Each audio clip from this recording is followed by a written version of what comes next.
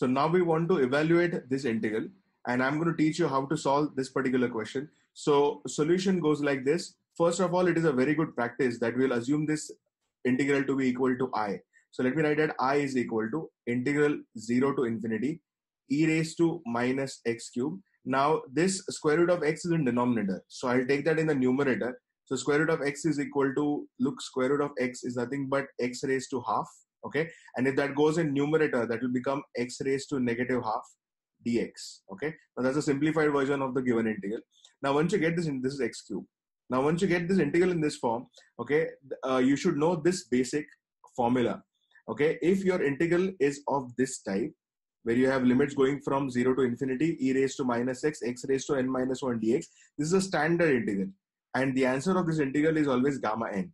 Okay. So what we'll try to do is the integral that we have here, now this integral over here, we'll try to get it in exact same format. Now, I just want you to observe that we want this term to be e to the minus x, whereas we have got e to the minus x cube. So this x cube has to go. So the step over here is going to be substitute. Now remember one point that whenever you come across a question of integration, it can be always solved by method of substitution. So we are going to do the substitution. Let's put x cube is equal to t. Okay that substitution will take care and will make it e to the minus t. So let me write down the integral i after the substitution will become whatever the limits are. We have to change the limits also. e to the minus t. And now can you see that this is perfectly matching with this type? Okay. So e to the minus t is very similar to the e to the minus x. Okay. So that is one change which is this is very good. But then look, when we have the initial integral i over here, this is all in the terms of x. The variable was x and we've decided to substitute x cube as equal to t. So the next integral will be all in terms of t. So we have to change everything. We have to find out dx equivalent in terms of t.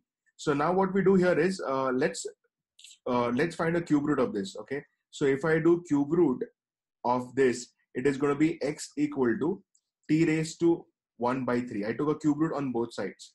And now I'll differentiate this. So if I differentiate, it will become dx is equal to uh, this is the derivative of t raised to 1 by 3 is going to be 1 by 3 t raised to 1 by 3 minus 1 1 by 3 minus 1 dt. Okay? So i'll write dx is equal to this is 1 by 3 t raised to now let's simplify this. 3 to uh, 3 ones are 3 that's minus 2 by 3 dt. So now that's the replacement i got for dx also we have to change the limits right? So let's change the limit. The limits of x were from 0 to infinity okay? We have to find equivalent limits for t also. Now how do we do that? Look the relation of x and t is given here right? This is the relation. Now what you do is put x is equal to 0 when you put x equal to 0 the t will be 0 okay and when you put x is equal to infinity infinity cube is infinity so t will be infinity in that case so t will go from 0 to infinity all right so now these new limits are of t and they're going from 0 to infinity okay now you see this is x raised to negative half so just substitute the value. You see that x is equal to t raised to 1 by 3. Now this value of x as t raised to 1 by 3, I'll replace here. So I'll get this as t raised to 1 by 3. And then the power here is negative half. I'll also substitute for dx. And if you see the dx value is over here, that is 1 by 3 t raised to minus 2 by 3 dt. All right. So let me just like make some uh, differentiation here okay this is the working of the problem and now if you see this entire integral was in terms of x okay which is reduced to the entire integral in terms of t okay now after you do that simplification we will have to simplify and solve this question now see how it goes i'll write this down as i okay see it like this uh, i is equal to integral t will go from 0 to infinity and uh, I can take this 1 by 3 out. So this is 1 by 3 constant. I'll write it over here. That's one third. And then this is e raised to minus t that I took this term. And then this will be t raised to 1 by 3 raised to uh, minus 1 by 6. is going to be minus t raised to 1 by 3 raised to minus 1 by 2 will be t raised to minus 1 by 6 this term here and then I'll I'll merge this also with this so I'm sure you know that t raised to a into t raised to b can be written as t raised to a plus b. So I can just add the power. Now this become t raised to minus 1 by 6 and this is minus 2 by 3 and I'll add them up. So t raised to minus 1 by 6 minus 2 by 3. That's the power for t and then dt. So I took all the terms, right? e raised to minus t is over here. Then uh, t raised to minus 1 by 6 and minus 2 by 3, I took it here.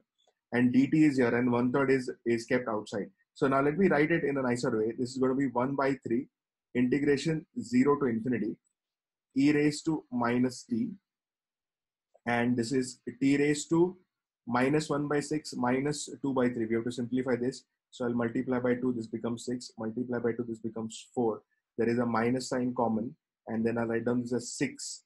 And then this is minus 1 minus 4. That's minus, uh, it's 1 and 4, right? That's 5 by 6 dt. All right. That's the simplified version. Now what we have to do is the integral that we have got over here, okay, we have to make it match to this standard form. Okay. And there has to be an absolute match. What I mean is the integral limits are from 0 to infinity. Okay, they are from 0 to infinity. So this is working fine. Then do you have e raised to minus t? e raised to minus is x. That is working fine. So this is also matching. Now what you want to do is you have the variable t, okay, and you want it to be n minus 1. Now there is a standard procedure to do this. You simply add 1 and subtract 1. So this becomes your n. Can you imagine? This is t raised to n minus 1. And if you compare it with this, it is going to be, this is going to be your n. All right. And now if you see the answer of this integral is called as gamma n. So I'll write this down as gamma n.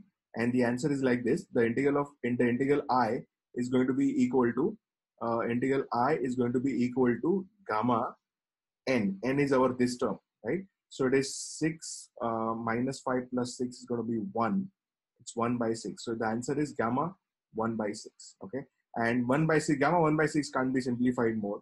And this is going to be your final answer to this question. I hope you followed this.